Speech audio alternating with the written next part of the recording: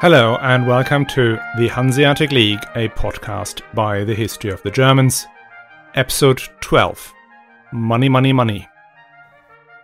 Now, this was supposed to be an episode where we talk about the challenges the Hanse was facing after the victory over the Danes and the Peace of Stralsund, but that's not to be. Listeners Mehmet and Nina pointed out a few gaps in what I'd been talking about last week, and now these gaps need to be filled. It's all good talking about the trading network and the flow of goods across the Baltic and northern Germany, but what about the opposing flow? The flow of money. How do the merchants get paid? How can they transfer cash to pay for all the goods they or their agents are buying way down in Flanders and England? How do they cope with the sometimes erratic monetary policies of late medieval rulers? After all, it's money that makes the world go round. But before we start, let me thank all of you patrons and one time supporters out there. I really, really appreciate that supporting a show you can listen to for free is an act of immense generosity. To say it with the author Roman Payne of all public figures and benefactors of mankind, no one is loved by history more than the literary patron. Napoleon was just a general of forgotten battles, compared with a queen who paid for Shakespeare's meals and beer in the tavern. You see, there is a chance to outdo Napoleon for a mere two pounds a month, less than a chocolate croissant. All you have to do is go to patreon.com slash history of the Germans or historyofthegermans.com slash support. And thanks so much to Mary Teresa H., Raphael F., David C.M., and Michael S., who've already signed up. Now, last week we talked about how the Hanse worked, or more precisely, how current historians believe the Hanse worked. Because the interactions between merchants and the cities are so multifaceted that for the last 200 years each generation of writers picked elements of the story and wove it into their own narrative, curiously matching contemporaneous political and economic developments. So, for now, the prevailing story is that the Hanse was a complex network that allowed both information and trust to be exchanged, so that merchants could send bulky goods to exactly the right place at exactly the right time over vast distances. Each trader would have a number of associates in each of the main ports, and these associates would send not only the merchandises ordered, but also regular reports about the goings on in their own location, as well as what they've heard from elsewhere. So these letters would contain things like prices for squirrel pelts are up because winters come early. The abbot of the local monastery has decided to build a new church and needs wood and other building materials.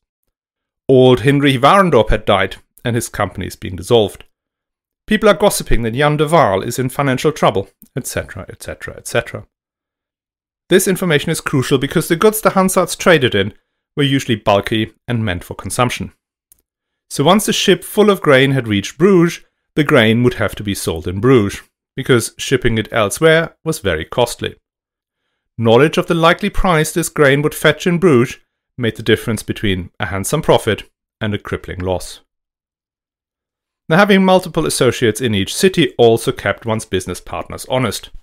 The business community, even in a place like Lübeck, was still quite small, so that many people would know if a merchant was taking advantage of one of his partners abroad. Information about that would quickly find its way back to the injured party, who could take corrective action. Now, one success factor I had not mentioned last week, despite its crucial importance, was language. The Hanse merchants from Narva to Bruges, from Cologne to Bergen, all spoke the same language Middle Low German. Now, Middle Low German has developed from Old Saxon, spoken in the Old Duchy of Saxony, and is most comparable to modern day Dutch. This was the language not just spoken by the people, but also the written language. All those letters the merchants wrote to each other were written in Middle Low German, not in Latin. And this was a crucial advantage, as it meant business partners could understand each other across the whole of the Hanseatic world along the 2,500 kilometers from Narva to Bruges and the 1,000 miles from Westphalia to Bergen. They held their court sessions in Middle Low German, and even the recesses of the Hanseatic Diet changed from Latin to Middle Low German in 1369. There were various dialects of Middle Low German, though Lübeck, thanks to its role within the Hanse, managed to dominate. So even the Scandinavian courts would maintain diplomatic communications in Lübeck dialect. Middle Low German was the lingua franca of Northern Europe.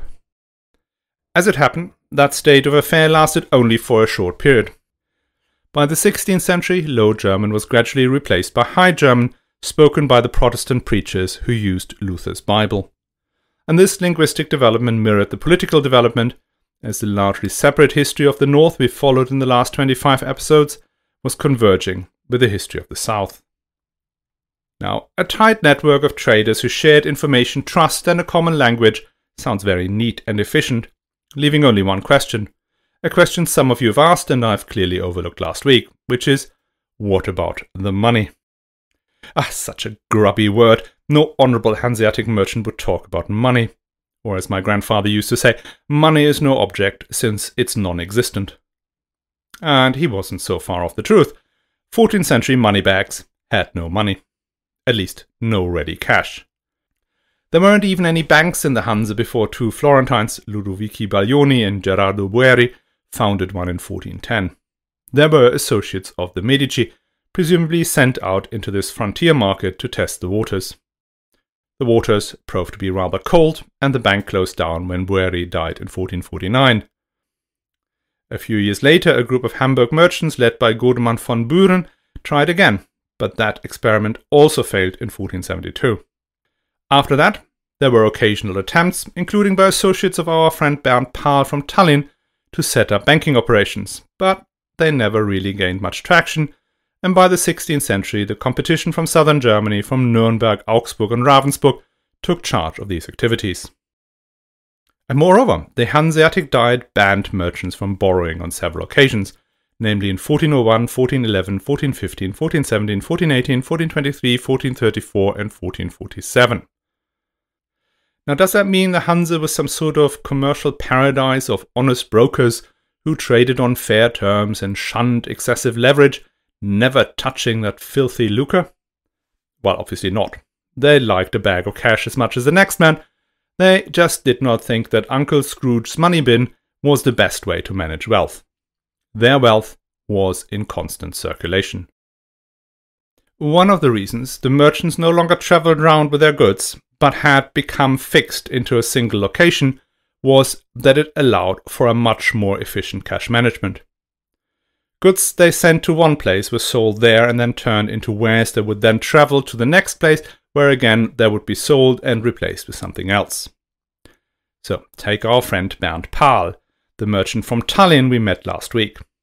He had partners in Lübeck, Narva, Gdansk and Antwerp, but he himself mainly stayed in Tallinn he would ask one of his associates to procure some furs from Novgorod via Narva. Those he had shipped to Lübeck where another associate would sell them on his behalf. The proceeds of that transaction would then be used to buy English cloth as per Bernd Pahl's instructions and then sent back to him in Tallinn. Meanwhile, he would do the same for his associates and partners who wanted to buy or sell goods in Tallinn. As a consequence, Bernd Pahl's warehouse was full of stuff belonging to his trading colleagues whilst the goods he owned were in someone else's cellar. The same goes for the money. The money in Bernd's strongbox was mainly the proceeds of sales he had made on behalf of his business partners, whilst again, money he owned was somewhere else in the network. A full reconciliation and payout only happened when Bernd Pahl died and his inheritance was settled. So, as long as these transactions operate on a bilateral basis, there is not much need for financial instruments but the trade had grown a lot more sophisticated than that. Let's say Bernd Pahl wants to sell the furs to one of his associates in Lübeck, but he does not trust that associate to get him a good deal on the English cloth. In that case, the money raised by selling the furs needs to go to the broker who will procure the cloth. The way to do that was a bill of exchange. So a bill of exchange works roughly as follows. Bernd Pahl writes an instruction to his fur dealer to pay the cloth dealer the amount of 100 Lübeck mark at Michaelmas. The document will be sent to the cloth dealer, who would then go to the fur dealer and ask him whether he would honor this instruction. If the fur dealer accepts this bill of exchange, he becomes the payer, meaning that at Michaelmas he has to pay the cloth dealer 100 Lübeck mark, no ifs, no buts. Now, the cloth dealer has a claim against the fur trader who lives in his town and who he could take to court if he fails to pay on time. there is a shortened court procedure for bills of exchange, meaning that he could send the bailiffs round in no time. And if the fur merchant is bankrupt, he could still claim the money back from Bernd Pahl. So, from the cloth merchant's perspective, the bill of exchange is almost as good as cash, which means he's happy to find Bernd Pahl some English cloth and send it across to Tallinn.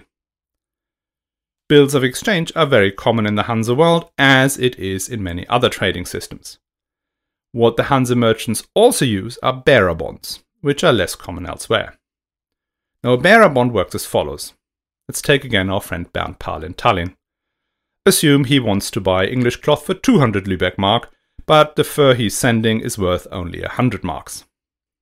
He also does not have 100 marks in ready cash to send along with the furs to make up the difference. So what he can do is issue a document that says he would pay anyone who presented this document back to him the sum of 100 mark. This he sends to the cloth merchant together with a bill of exchange.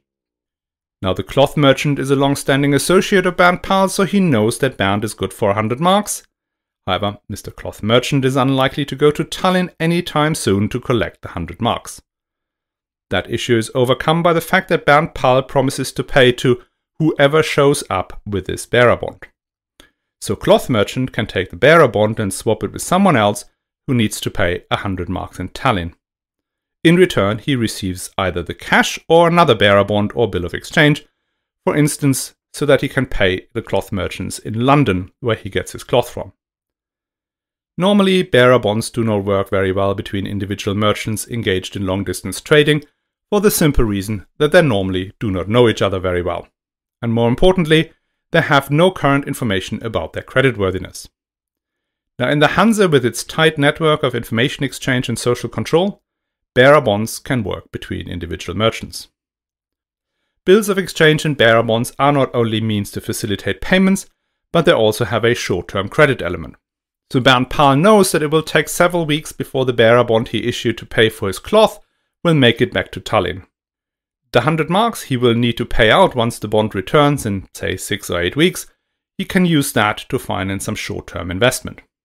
In practice, that makes the bearer bond a short term loan, and so is the bill of exchange. These instruments therefore cover a big part of the liquidity needs of a Hansa merchant. But there are financing needs that go beyond covering liquidity.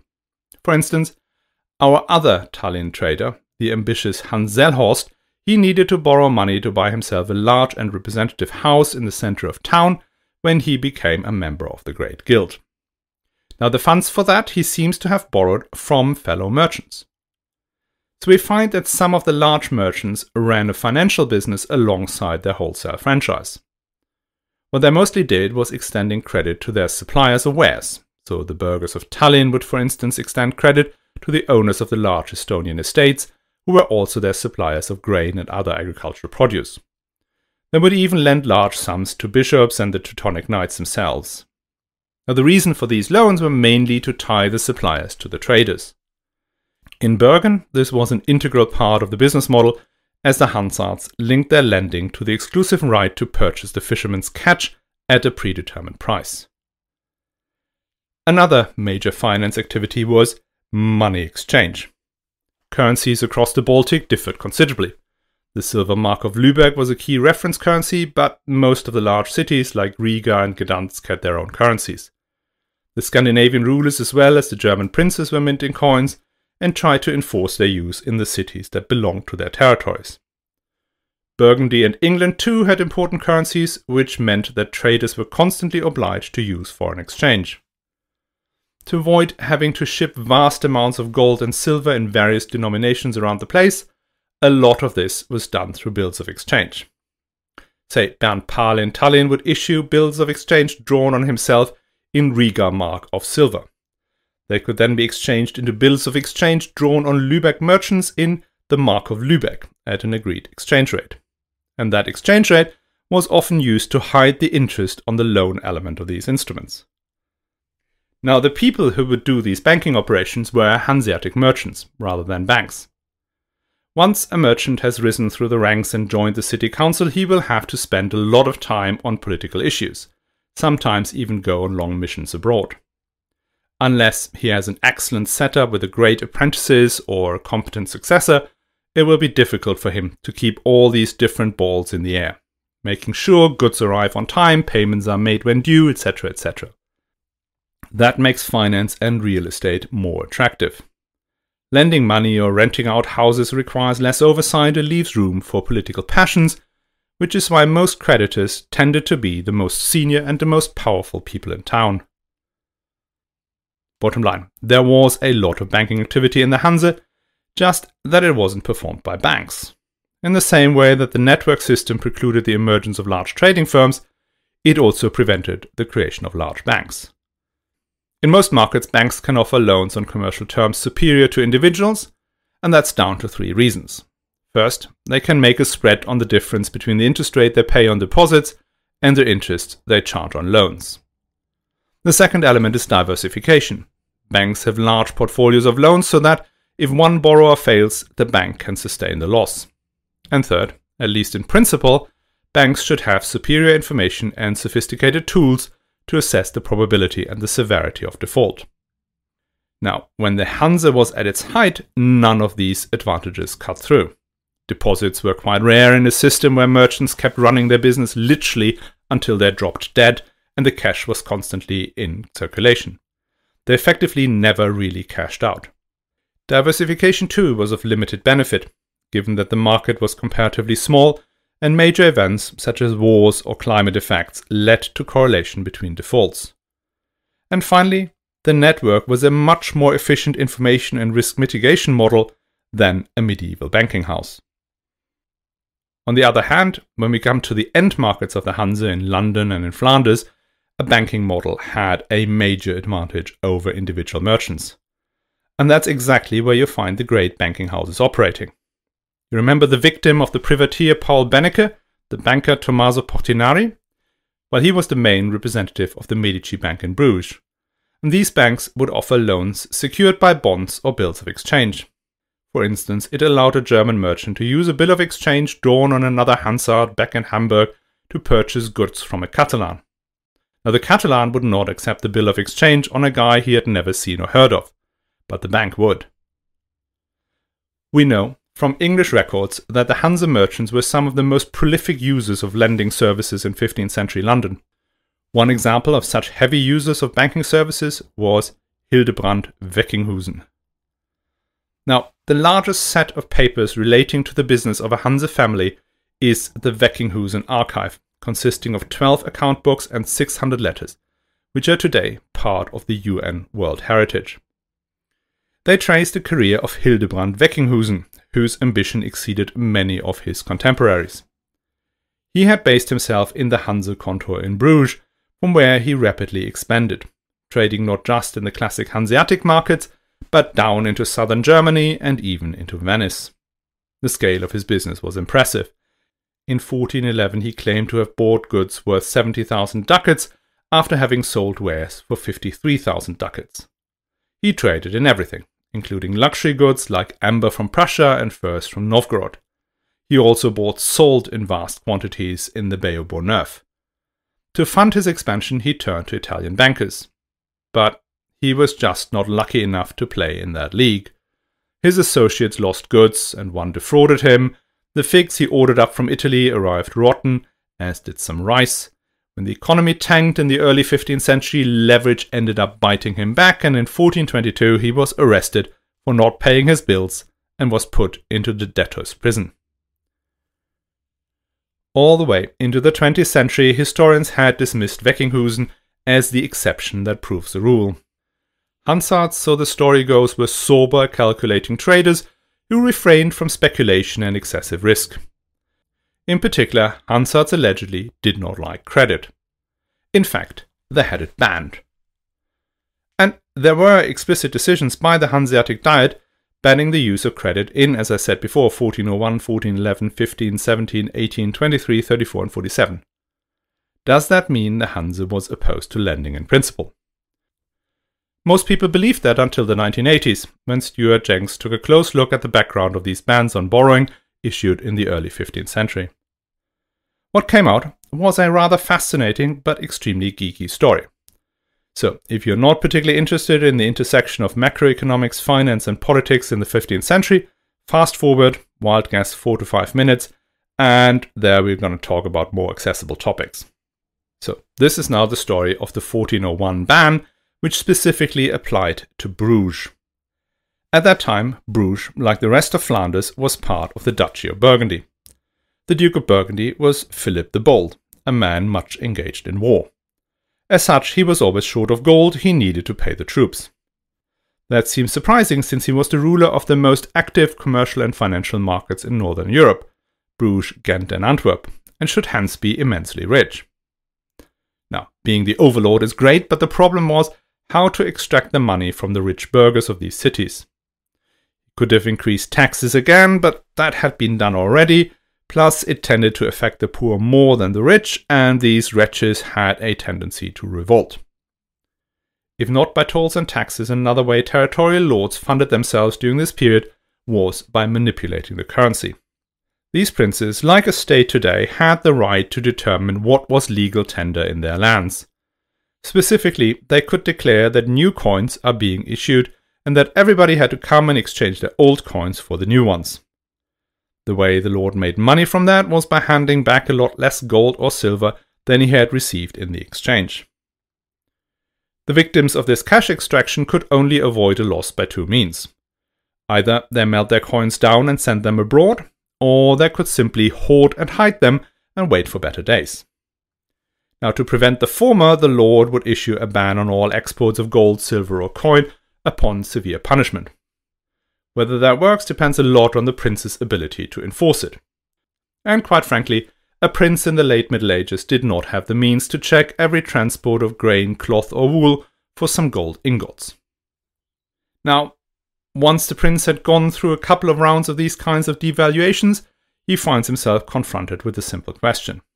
Is the reason that so few coins are presented at the mint down to either that there is no more gold left in the country at all, or is it down to the people hoarding precious metal? In 1399, the Duke of Burgundy came up with a way to find out. He ordered that from now on all transactions had to be made in cash. And that was a shock to the system.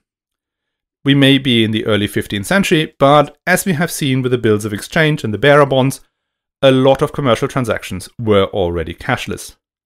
That was even more the case in Bruges, the financial center of Northern Europe. The citizens of Bruges were as unwilling to walk around with the equivalent of hundreds of thousands of pounds then as we would be today. Therefore, a merchant coming to Bruges would set up an account with a Bruges banker, often the host where he was staying at. This banker in turn had accounts with most other bankers in Bruges so that any transaction could be settled account to account. Alternatively, the parties could use bills of exchange, bearer bonds, or banker's drafts. If the merchant was creditworthy, he may be even granted an overdraft on the account or could borrow funds to pay for the merchandise. That way, nobody ever saw any gold or silver coins.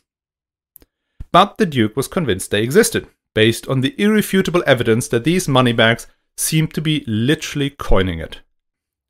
So, to lure out these elusive florins, livres, pounds, and marks, the Duke made the city of Bruges demand that all transactions had to be done in cash.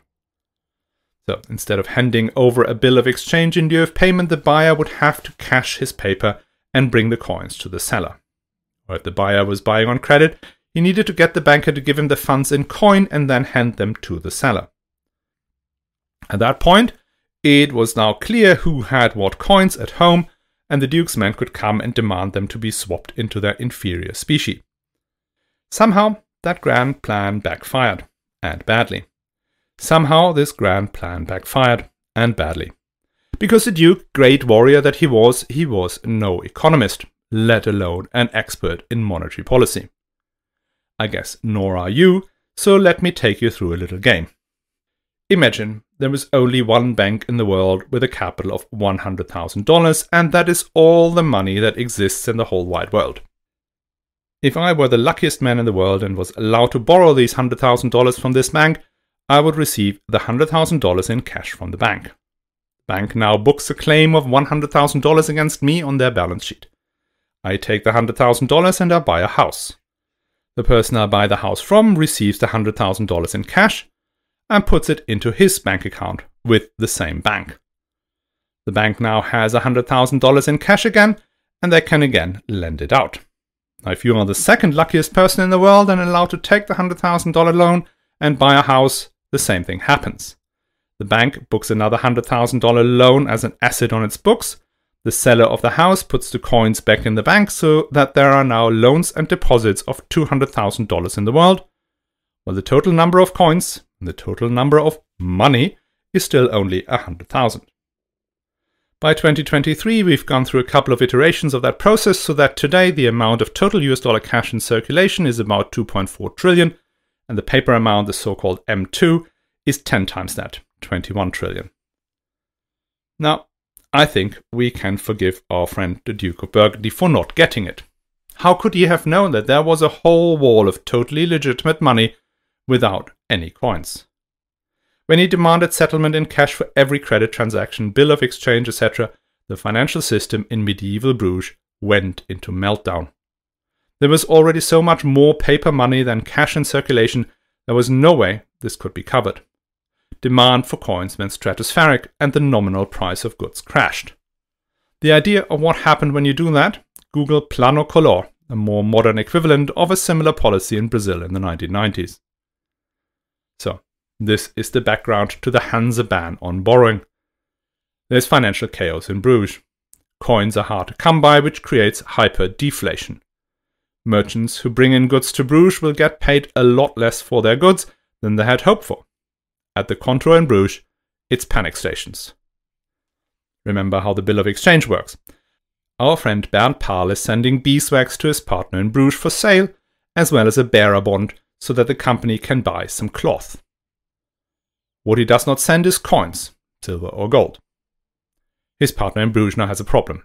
He has to turn the beeswax and the bearer bond into local currency, and not just into money as an accounting measure, but into actual coins.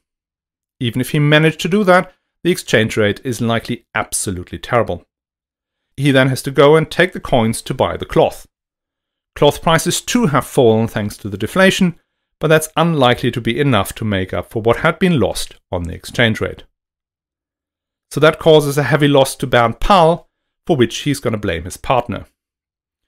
Now imagine if Bernd Pahl had issued his bill of exchange in local Bruges currency, in pound grote. At that point, the associate in Bruges is really in the dumps. Either he accepts the bill of exchange and pays out the pounds grote, which means he takes a loss on the exchange rate, or he refuses the bill of exchange, at which point his own and Bernd Pahl's credit is destroyed. The merchants at the Comptoir in Bruges realize that something needs to be done, urgently. They need to stop this flow of bills of exchange and other credit instruments coming in from Cologne, Danzig, Riga, or Lübeck, at least until this madness is over. The Comptoir writes to the Hanseatic Diet in Lübeck and asks for them to ban the use of credit in Flanders. Initially, the participants in the diet did not quite understand why this was such a big issue, but in the second round they realized that they may lose either the Comptoir in Bruges or the good credit of the Hanse merchants in Flanders. So they reluctantly issued an order to block the issuance of credit. Now, once the madness was over, the ban was lifted again and things returned to normal. The Duke of Burgundy tried the same stunt again two or three times, and the Hanseatic Diet responded again with a ban on the use of credit. These bans again were lifted once the issue was over.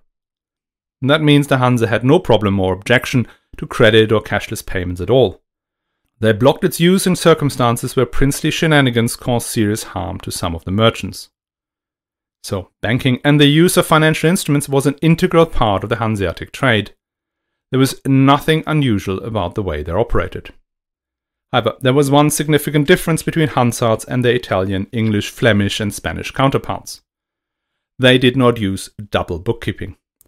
The trading records we have from this period suggest that accounting was a complete mess. A Hansard merchant literally had no idea whether his assets and liabilities were balanced, nor did he have a reliable cash forecast. It often took years to work through the collection of letters and order books to reconcile the accounts of a company once one of the partners had left. Not knowing how much equity a business has is not something one would want to disclose to the bank, when looking for a loan. That may be another reason that there were no banks and that the Hanse firms never grew to the size of a Fugger or Ravensburger. They simply could not handle it. I struggle to imagine how they even managed what they had. As we've seen with Bernd Pahl, even relatively small merchants would be involved in three or four different companies whose goods and finances he had to keep separate from his own. Then some of his bills of exchange or bearer bonds were issued in his own name, some in the name of the company, all with different due dates. Cash had to be kept separate too and tracked. It really is mind boggling. And finally, another point about currencies. Having all these different coins and frankly mad monetary policy must have been a major problem. A large part of banking in the Middle Ages was foreign exchange, either direct exchange of foreign coins into local currency or by issuing some sort of traveler checks which allowed the crusader or merchant to draw funds in lands far away. In both cases, the foreign exchange banker would make a handsome profit. This made trade more expensive than strictly necessary, which is why the Hanse tried to resolve the problem. Many cities had acquired the right to coinage during the 12th and 13th century. And the cities did not try to turn their currency into money making schemes the way the Dukes of Burgundy and pretty much all the other princes were doing. They wanted their currency to remain stable. So cities would form currency clubs, which attempted to regulate the quality of the coinage. The most important one was the Münzverein of the Wendish cities, that was formed immediately after the Peace of Stralsund and included Lübeck, Hamburg, Wismar, and Lüneburg, as well as a number of associated members. They committed to rules about the minimum silver content in the mark, they had ordinances about how the mint and its personnel was to be run, and they would procure the precious metal together from Bohemia.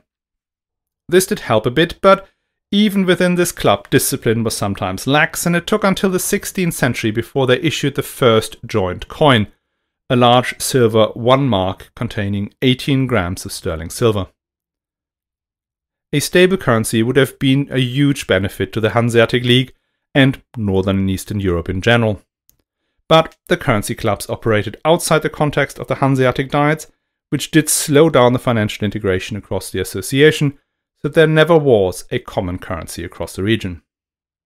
How important this could be is shown by the example of England, the great rival of the League in the 15th century and the emerging world trading power.